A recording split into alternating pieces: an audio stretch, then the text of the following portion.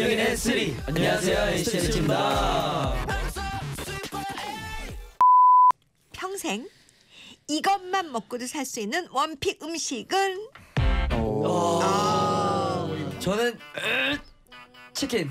찌개예요. 예. 예. 아 고기 고기요 고기, 고기. 네 저는 이제 예. 오트밀 저도 오트밀 엄청 좋아해요. 아, 진짜요? 어, 어떤 분이 우리 화정 언니는 오트밀 먹고 치킨 시켜 먹는데 예. 그, 그렇게 먹어도 돼요? 치킨이면 뭐든지 괜찮아요.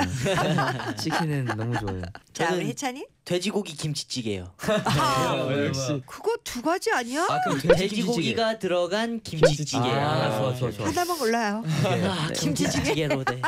그럼 여기서 제일 식탐이 있는 멤버 누구예요? 저은 거 같아요. 어, 해찬이가? 그냥 이 먹는 거 자체를 좋아해가지고 아. 네, 되게 맛있게 먹으려고 노력하는 편이에요. 돼지고기 같은 김치찌개를 포기 못했을 때 알아봤어. 근데 오늘은 날씨 좋은 날 어. 냉면 드시고 오셨다고. 아, 네, 네, 맞습니다. 네.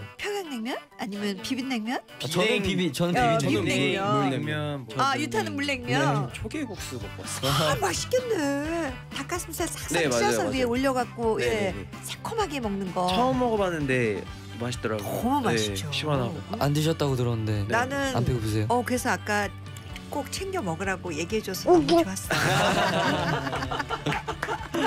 사실 달걀 후라이 두 개 먹었어요. 삼각김밥 같은 거 가, 가끔 먹어요? 아 어, 네. 예, 좋아요. 편의점에서 완전 좋아요 완전 네, 좋아요. 예. 저는 갈비 들어가 있는 삼각김밥 너무 좋아요 아. 네. 뭐 사주고 싶네. 에러 에러 에러